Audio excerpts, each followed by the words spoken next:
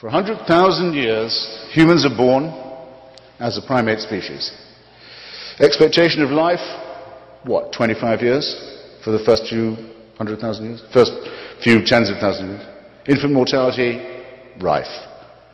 M- microorganism disease, terrifying. Earthquakes, uh, volcanoes, extraordinary. But, and fights over land, over territory, over food, over women, over tribalism. Frightening too. For 95, 96,000 years, heaven watches this. With folded arms, with indifference, with coldness. And then around three to 4,000 years ago, but only in really barbaric, illiterate parts of the Middle East. Not in China, not in China or where people can read or think or do science. No, no, no. In barbaric, illiterate, backward parts of the Middle East, it's decided we can't let this go on, we better intervene. And what better way than by human sacrifices and plagues and mass murder? And if that doesn't make them behave morally, we just don't know what does. If there is a single person in this room who can bring themselves to believe anything remotely like that, they convict themselves of being, first, very stupid, and second, very immoral.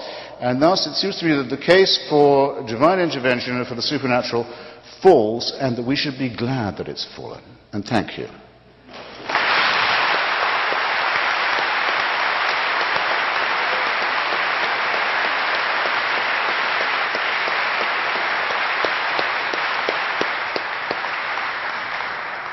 Peter, 10 minutes.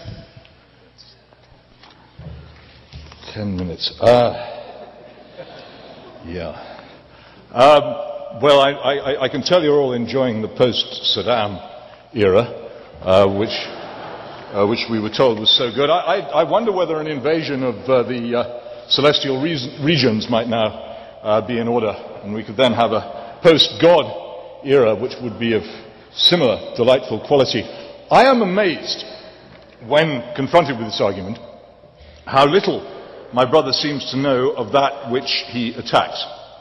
How he prefers to mock and belittle, how he prefers to select from it all those things which I think most educated believers themselves are troubled by, how he imagines that people other than himself do not seem ever to have been troubled by the things which trouble him, and nonetheless have come to the conclusion, despite all, that belief in a God, in my case, God, call him by his first name, that belief in God is nonetheless wise, beneficial, and good, not just for ourselves, but for the universe.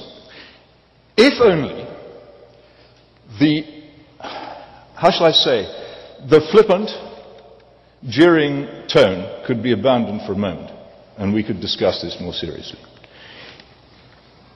It seems to me to be incurious to the point of tedium to examine the universe and not to ask yourself certain very powerful questions. The first of which is, why is there something rather than nothing?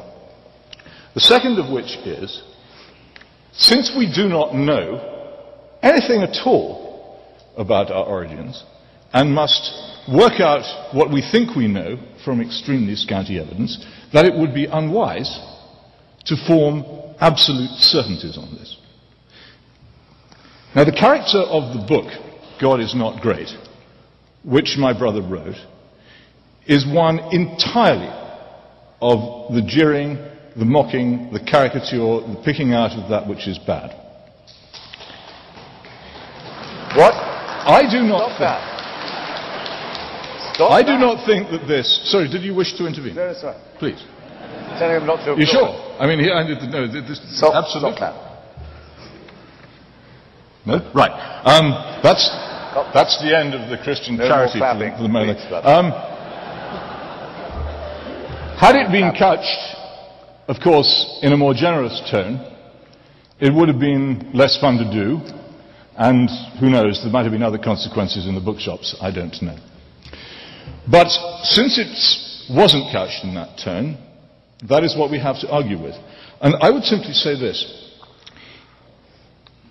First of all, for a while, I'm surprised he hasn't asked it tonight, uh, my brother would go around saying that there was uh, a, a, question which no believer could answer about what action could, uh, no, um, could no believer take which an unbeliever could, or something of, of that character. To which I would reply, the question of morality is utterly irrelevant to you if you genuinely believe that which you say you believe. If you think that there is no authority, if you think that we are the products of random chaos, if there is no reason for the existence of the universe apart from a series of accidents, then you may behave exactly as you wish. Now, in the case of Christopher and his uh, ally and uh, colleague, uh, Professor Dawkins, I refer to this as luxury atheism. I know where they live. They live in very pleasant parts of very pleasant cities, and they are able to advance the theory of atheism purely as a theory. Well, I live in England, and I don't need to travel very far from my home which is not far from Professor Dawkins' home, in Oxford to find a large number of highly practical atheists. In my country, it is common, no more than three or four times a week, to read accounts of people being kicked to death by youths aged between about 13 and 17. It invariably ends with the phrase, and then they started kicking his head as if it were a football. These accounts grow more and more common. If you venture into the areas where these people live, you will find a complete absence of any kind of moral feeling whatsoever. A complete absence of self-government among the strong, among the healthy, among those who are able to control and take advantage of their neighbours. Christianity and everything that went with it have vanished from among them. They are practical atheists, and they really mean it. In fact, in some ways, they're not atheists. If you examine my country carefully, you'll find that the worship of Moloch the slaughter of children at the rate of 180,000 a year in the womb continues, that the worship of Mammon is out of control, that the worship of Ashtaroth is pretty well advanced as well, and a number of the other pagan gods. They're way out in front of the dear old Anglican Jehovah in whom I attempt to believe. All this seems to me to point to an important factor in religion, which is why it seems to me that it is reasonable, given that we are ignorant of the answer as to whether there is or is not a God and cannot know, why we might reasonably think that it was worth believing in such a being. If the universe does have an order, if it does have an origin, if there is running through it an eternal law, then wouldn't it be a good idea to try to find out what it was and to seek to govern ourselves by it? Now, I too have been to North Korea. And I will tell you that I have the opposite impressions to that which my brother had. This is a country entirely run by people who hate and despise the idea of God and who have made themselves into gods. And that, indeed, is what so very often happens when people ignore the very, very earliest part of the Bible, in which the serpent says to Adam and Eve, Eat of this fruit, and ye shall be as gods. This is what we do when we decide for ourselves that there is nothing above us. We destroy authority. We destroy all the things which turn the hearts of the disobedient to the wisdom of the just. They go. They're going very rapidly in my country. I suspect that if things proceed as they are in our educational system and our trash culture, they will happen pretty rapidly in this one too. And then you will then you will know what happens when God is truly absent, not because he isn't there, but because the only place he can occupy lies within our hearts. And either he is there because we invite him and we seek his assistance in the governing of ourselves, or he is not, and we cease to be able to govern ourselves because we no longer know how to do so.